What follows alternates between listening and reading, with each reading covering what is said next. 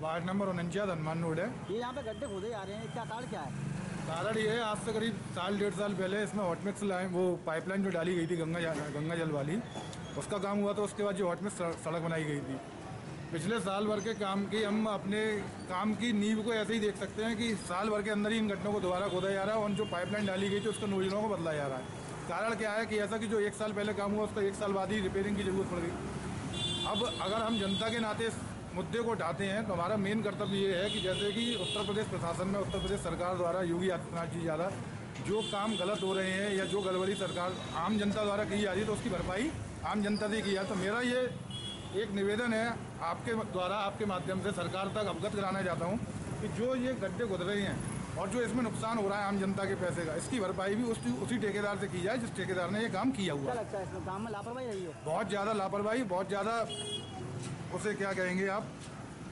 लापरवाही के साथ साथ घोटाला भ्रष्टाचार चरम सीमा पर रहा है इस काम आपका? जी मेरा नाम हिमांशु अग्रवाल है। कौन सा वार्ड है और ये क्या समस्या आ रही है ये वार्ड नंबर 16 और वार्ड नंबर उनचास दोनों आते हैं इसके अंतर्गत। समस्या ये है कि दो लगभग दो वर्ष पूर्व यहाँ पर है ना ये एक पाइपलाइन डाली गई थी गंगा जल की जो कि पुरानी मंडी और चौकी गेट क्षेत्र में पानी जाता है।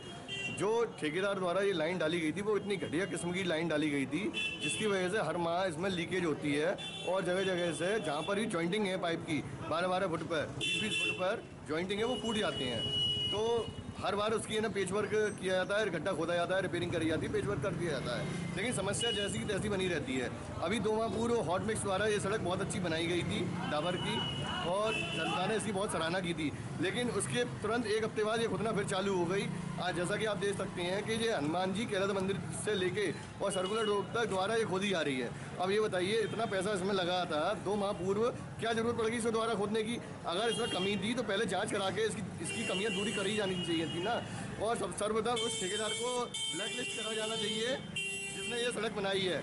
उससे ही सारा खर्चा वसूल करना चाहिए।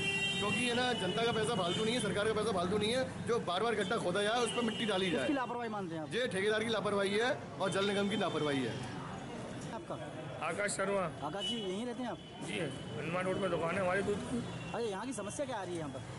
पाइपलाइन डली है ये चौकी गेट की। जब से ही परेशानी आ रही है हमारी दुकान के नीचे कम पंद्रह बीस फुट के एरिया में पूरा नाला गिर गया था। भैया क्या रही? भैया कोई पाइपलाइन रिस रही है वहाँ पे? जो चौकी गेट की गई है नई पाइपलाइन। उस वजह से बहुत दिक्कत हो रही है गड्ढे हो रहे हैं सड़क अभी सड़क बनी है तैयार हो नहीं पाई है खुदने नंबर दवा लग गया क्या लापरवाही मानते हैं आप इसमें? लापरवाही है पूरी घोर लापरवाही है इसमें। किसकी लापरवाही मानते हैं? पार्षद की लापरवाही है जब देख ही नहीं कर पाए नगर निगम जब काम पहले सड़क बनने को आया ऑर्डर तो पहले पैदल चेक करा लेते हैं जब सड़क बनवाते हैं। गड्ढे कहाँ से कहाँ तक खोदे पड़े हैं ये? ये अभी तो चौड़ा भी खोदे हुए हैं अब माँ तो पूरा खोदेगा ये मंजी गेट तक।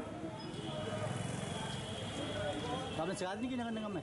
शिकायत की अब हमने पार्षद जी से कही है अब कह रहे हैं देखेंगे कोई कोई शिकायत नहीं, किसी कहीं से नहीं करी है।